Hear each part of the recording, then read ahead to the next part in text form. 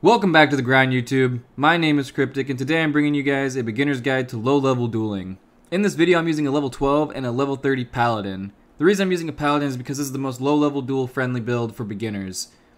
In this video I'll be covering lots of basics such as stacking our life, reaching max resistances, certain breakpoints that we want to achieve, our damage output, and then I'll go over what kind of gear you guys should be looking for and where we can farm it. Let's jump right into it guys. Before I get too far ahead of myself, I want to make note all builds in Diablo 2 revolve around life, resistances, breakpoints, and damage. Endgame builds achieve damage through maxing their skills, or using gear with plus 2 to all skills like the Enigma, Heart of the Oak, or Shako. Endgame builds also attempt to achieve multiple breakpoints, attack speed, cast speed, block, hit recovery, etc. And they'll achieve max resistances through their gear, Anya, and charms. Some endgame builds don't even use life. But all builds are similar, but different at the same time for low-level duelers. With low-level dueling, we're achieving life by stacking it directly from our gear, and attribute distribution. We also receive max resistances through various methods depending on our build, and only certain breakpoints need to be achieved dependent on our low-level dueling build. And our damage is received through jewels with specific gear and proper skill allocation. Let's start with life. But before we can start with life, we need to understand how life works. One hard point into Vitality will give a Barbarian plus 4 to life, an Amazon, Assassin, and Paladin plus 3 to life, a Druid, Necromancer, and Sorceress plus 2 to life, and all classes receive plus 1 to Stamina per Vitality hard point with the exception of the Assassin who gets plus 1.25 instead. For example, if I put 25 hard points into Vitality, my Paladin receives 75 to life. Let's begin with my level 12 Dueler, and then let's compare to my level 30. As a level 12, I have 301 life, which is a great spot to be at in terms of life. I have enough points into strength to wear my gear, and the rest of my points were allocated into vitality. As far as my gear goes, I have an Angelic Wings amulet, paired with two Angelic Rings. Each ring have 20 to life on them, paired with my amulet gives me 75 to life. I have boots on that give me 15 to life, and Blood Fist with 40 to life. These items also have other great modifications, but we'll dive a little bit deeper into that in just a moment. Why is life important? When dueling, it doesn't matter how much damage we have if we can't survive long enough to dish it out. Even with max resistances, we want a lot of life so we can absorb damage for longer periods of time. In respectful duels, the opponent and yourself will not be using healing potions. The longer we survive, the more opportunity to kill them. As a level 12 dueler, it's more than possible to have max resistances. Currently on my build, you can notice my resistances are not maxed. And that's because of my shield. I should be using a paladin class specific shield, with 4 open sockets and a base of at least 40 to all resistances. Insert 4 diamonds into that, you're now over 75 all resistances. As a level 12 paladin low level dueler, we're looking to break one specific breakpoint, and that's faster hit recovery. Currently on my build, I have 7 grand charms with 12% faster hit recovery, paired with my blood fist which gives me 30% faster hit recovery, which brings me to 114% faster hit recovery and I only need 86% to break the fourth frame and 200% to max. 200% is possible at level 12, however, you will be cutting into your damage. If you do want max faster hit recovery, you'll need 10 Grand Charms with 12% faster hit recovery, Blood Fist with 30% faster hit recovery, 40% faster hit recovery from Blinkbat's form, and then 20% faster hit recovery from the Nokozan Relic, which is going to bring you 210% faster hit recovery, which breaks that max faster hit recovery breakpoint. However, you will be sacrificing damage. As you can see on my current build, I'm using a superior gothic plate and not Blinkbat's form, which means I'm getting more damage from enhanced damage jewels that I socketed into it. And you will still be able to achieve max resistances with either build by using that shield I mentioned earlier. Let's take a look how we're achieving 282 to 364 damage. First off, our main skill is going to be charge. We get 300% damage from this skill, and it also synergizes with Might, which is going to be our active aura when we're dueling. While we're wearing Might, we get 130% damage, and that 20% damage from those 10 levels that we have in there gives us an extra 200% damage on top of it. This scales from our gear that we have on, especially our weapon. Our Superior War Axe came with 6 open sockets and 7% enhanced damage. I then inserted 6 enhanced damage jewels into it, Along with our helmet that had three open sockets, we put three enhanced damage jewels into it, and then our body armor had four open sockets, and we put four enhanced damage jewels into it. All of this adds up to our 282 to 364 damage.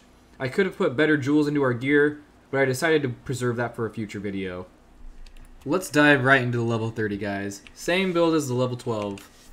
With this build, we're doing the same thing. Enough points in the strength to wear our gear, and the rest into vitality. Same idea with our skills as well, guys. We have a couple. we have a one point into smite and a couple points into charge. We maxed out might because this is our active aura, and we get synergized on charge. We get 230% damage when using might, and those 20 hard points give me 20% damage per level. A Couple extra points into charge again, get that damage up 595%. And then we have one point into Vigor as well because we do get a synergy from that. If we were using gear with, with uh, plus to skills, we would want to have a point into Vigor because that gives us so much more damage. I then have a couple points into some random auras like Holy Freeze and Redemption, and that is to throw off our opponent, and I'll explain that in a moment. We also have Salvation selected. You can see my resistances are a little lackluster. From a distance though, we'll be using Salvation to absorb fire, cold, or lightning damage in a duel, and once we get close enough to charge, we'll switch to Might and hopefully get that one-shot kill in. You can see my damage is pretty significant with Might on, 3,307 to 5,172. I'm achieving that through all my skill points, guys, and this Ethereal Bone Snap. 316 to 468 base damage is pretty crazy with 300% enhanced damage, so this weapon is absolutely phenomenal. You can see I have 749 life. This is also important, guys, when we drop that Salvation Aura, when we're going in for a kill here. When we drop this Aura down to this, we're going to be taking a lot more damage from Fire, Cold, and Lightning, so that 749 life is going to be really important, which leads me to why I'm wearing this helmet here with 134 life in it. This was a magic helmet with based uh, 20 life with 3 open sockets, inserted 3 perfect rubies into it to get 134 life using that Angel set as well for more life and attack rating, and then we have Blood Fist for some life too. If you want to use an alternative to the Angel set, you can run two Stone of Jordans and a Nokozan Relic for some fire res and some hit recovery. Those Stone of Jordans come in handy with Vigor because that synergizes with Charge. Looking back at my gear, guys, I'm also using a String of Ears for that 10% damage reduction. Pretty big in a combat fight. Then we have Goblin Toe Boots and a Rattle Cage as well to kind of complement the bone snap. For crushing blow on all three of these items adds up to 90% chance to proc, uh, to proc crushing blow. And crushing blow, the way it works is when I hit a player and it procs, I will be doing one tenth the damage to their life. You can see my damage here is pretty high. If I hit someone for 4,000 damage and I proc crushing blow, not only am I doing 4,000 damage, but I am also doing one tenth of their life as well. So this build is designed to one-shot people. I'm not using any faster hit recovery charms, even though I could. I'm using a lot of small charms with life and grand charms with max damage and attack rating to make sure that I get that hit off and I do enough damage to kill somebody in one hit. I do have a couple faster hit recovery charms to pair with my Blood Fist, so I do get some faster hit recovery instead of none.